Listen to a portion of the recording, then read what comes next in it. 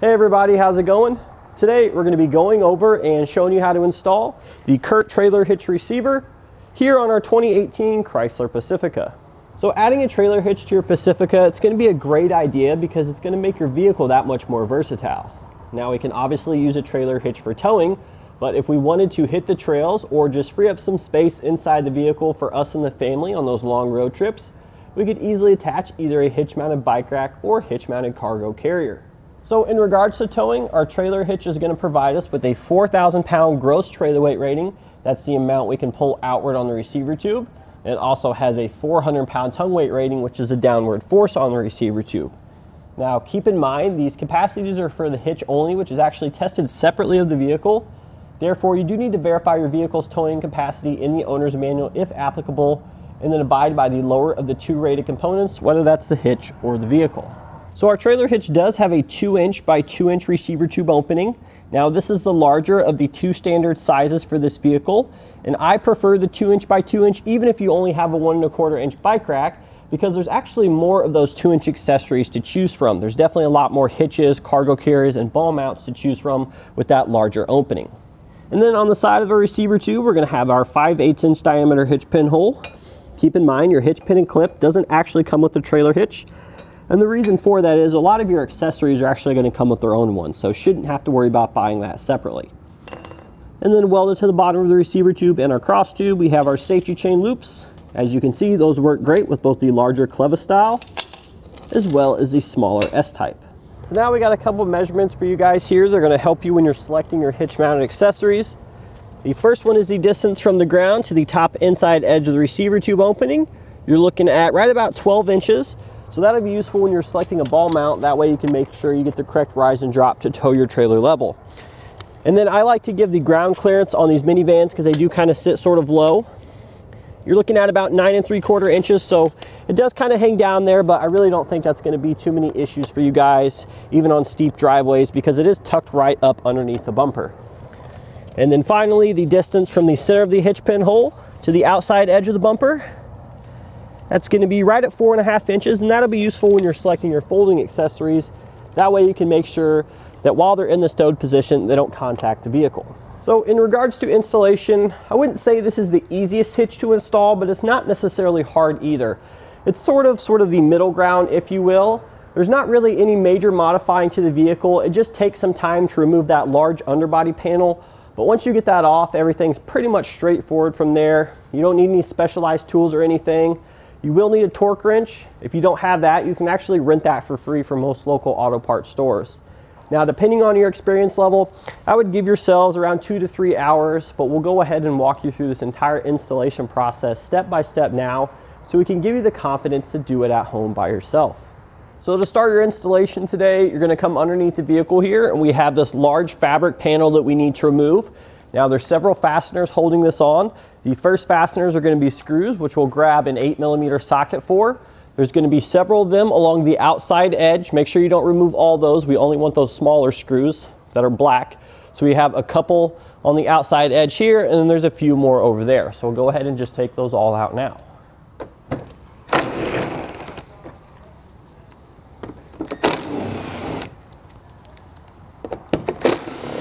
So the next thing we're going to do is we're going to take a 10 millimeter socket and we have several plastic nuts holding on the bottom of the panel there. You can see we have a couple over here as well as a couple over here and then two more on the outside. So we'll go ahead and take a 10 millimeter socket.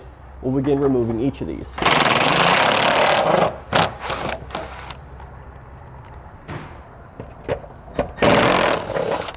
So next we're going to have two bolts here on the bottom. We'll use our, 10, our same 10 millimeter socket from before. And once we remove these, there's two more of those plastic nuts above that. So you just pull down that panel and we'll remove those as well.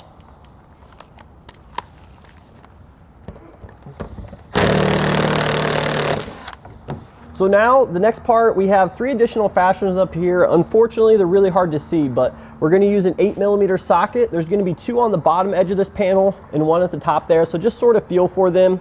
Uh, you're probably going to need a quarter inch drive socket and a small ratchet to get those out. Or if you have a handy swivel tool like us, you can use an impact.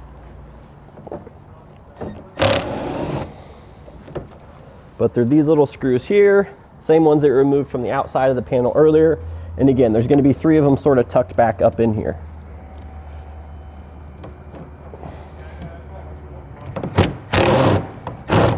So now finally two fasteners left. These ones actually kind of stay in the fabric here and we just take a Phillips head or a flathead rather and we just turn those and pull it down. We actually have two of these and once we get both of these out, our panel should come out, although it is highly possible that we missed a couple.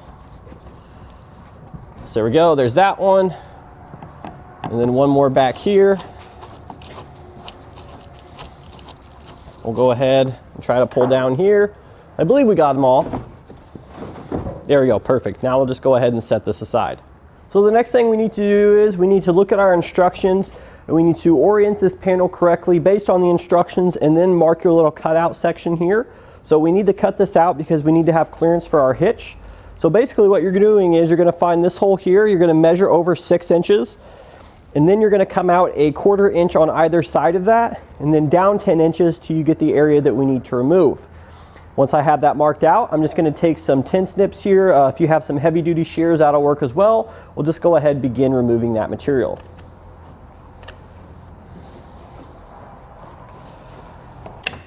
So there we go. That's what our cutout is gonna look like. We can go ahead and just throw this scrap away. So next we need to lower exhaust, but before we do that, we need to support it properly. If you're working on the ground, just grab a couple blocks of wood or some jack stands, or if you're in the air like us, you can just grab a cam buckle strap or a ratchet strap, whatever you have. Just hook onto two points on the frame and then pull it tight. And then we're gonna take some sort of penetrating oil. We're gonna be spraying down our two rubber isolators. There's gonna be one located here, sort of in the center. And then there's gonna be one located behind the bumper next to the tailpipe. Next, we'll take either a pry tool or an exhaust hanger removal tool to remove the metal hangers from the rubber isolators. We will show you both methods because chances are you're not going to have this specialized tool.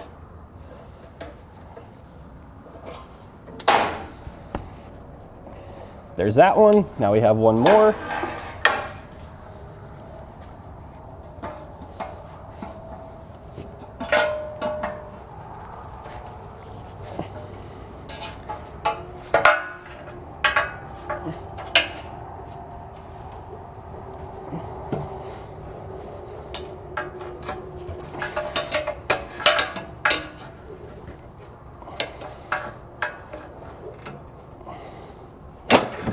There we go. Next, we'll be removing the heat shield. The heat shield is located here. It's held into place with two nuts, these plastic nuts, same as the ones we removed earlier, which we'll remove with a 10 millimeter socket. So we're gonna switch over to a universal joint, a swivel joint. That way I can get a little bit better hold on that nut. There we go. And now our heat shield should just drop right out. So now, once we have our heat shield off the vehicle, I'm gonna go ahead and set it on a table here because we do need to trim it. You can see we already have a line marked out here. We're gonna be removing this section. Now the instructions were a little confusing, at least in my opinion, because they had you measure a certain amount and then the instructions actually showed in the diagram a much larger amount. So I'm just gonna go ahead and mark it out how they have shown in the photo and begin removing that material using some shears here. So you want to be careful when you're cutting this stuff because it is very sharp, so you can't injure yourself. Just be careful when you're making your cuts there.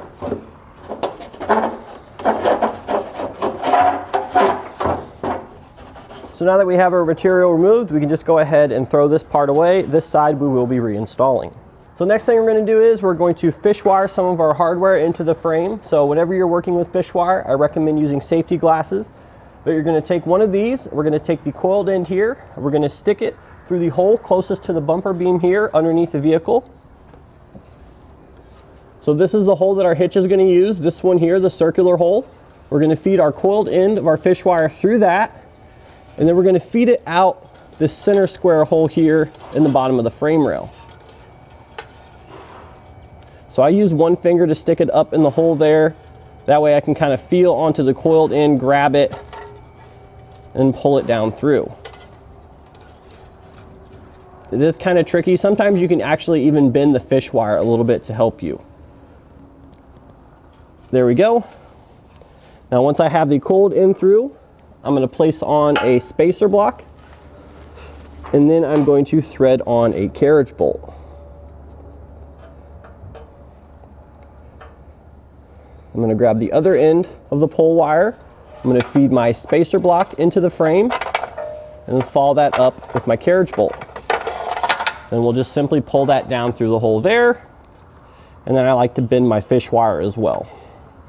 So now we're going to take another fish wire. We're going to do that same thing, but we're going to be using the square hole directly behind that circular hole that we just used. And then for our last hole over on the passenger side, it's that square access hole we've been using. We're gonna reverse fish wire into that hole. So take your fish wire outside the vehicle, place on a spacer block, and then thread on our carriage bolt. And then we'll just simply stick the head of the carriage bolt up through that hole Follow that up with our spacer block and just pull them both straight down like so.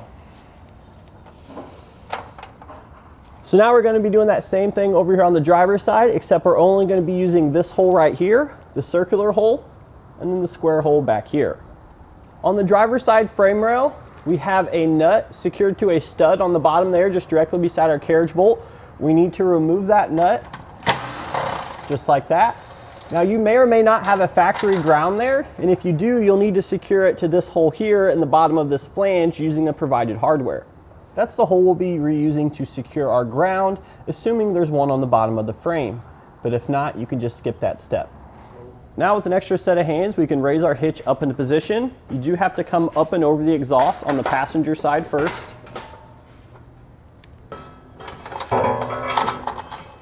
So there is two holes here on the back of the flange on your hitch on the driver's side. This is a non-hybrid model, so we're gonna be using the one closest to the edge here.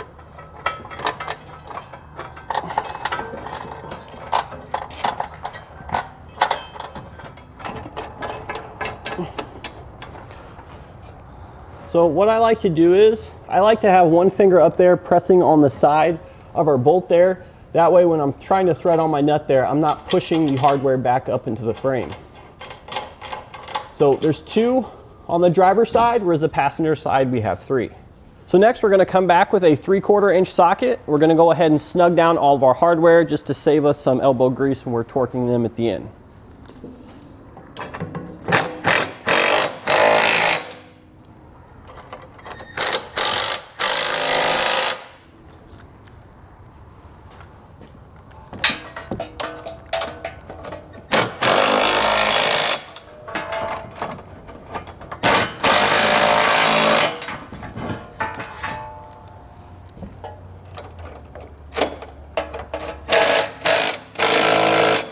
Now we'll come back with our torque wrench here so we can torque all of our fasteners down to the specifications listed in your instructions.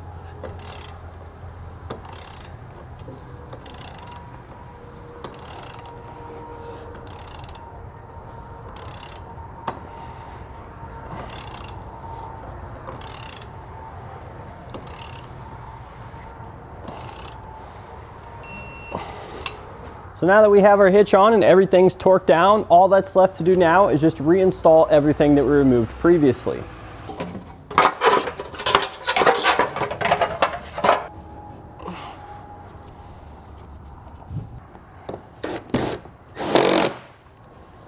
So once we have everything reinstalled back on the vehicle, that's going to do it today for our look and installation of the CURT trailer hitch receiver here on our 2018 Chrysler Pacifica.